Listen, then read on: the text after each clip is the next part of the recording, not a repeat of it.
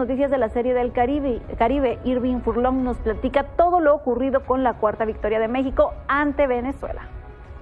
Luis Fernando Miranda, nombrado pitcher del año en la Liga del Pacífico, lució su credencial y lanzó seis entradas con siete ponches y solamente dos imparables en el montículo del Estadio Monumental de Caracas. La ofensiva emboscó con un rally de cuatro carreras en el tercer episodio y los Cañeros de México se convirtieron en el primer invitado a las semifinales de la Serie del Caribe 2023 al derrotar este lunes a los anfitriones Leones de Venezuela en la Gran Caracas el conjunto mexicano se convirtió en el primero en arribar a una marca de cuatro victorias y solamente una derrota.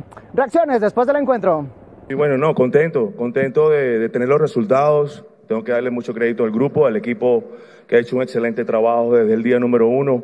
Hemos jugado muy bien esta serie. Darle crédito a Luis por su trabajo. Por alguna razón fue el pitcher del año y tuvo una salida de calidad excelente contra un line-up que sabemos que es bastante fuerte como los Leones del Caracas, pero eh, agradecido, ¿no? Y, darle gracias a Dios por el resultado que tuvimos y ahora, bueno, seguir adelante, esto apenas el primer paso, eh, estar en, en semifinales, pero ahora sigue un camino y tenemos que seguir avanzando.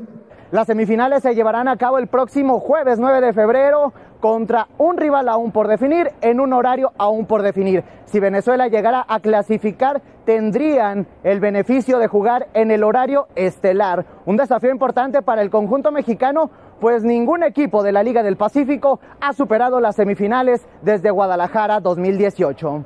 Desde Caracas, Venezuela, para Milenio La Afición, Irving Furlong.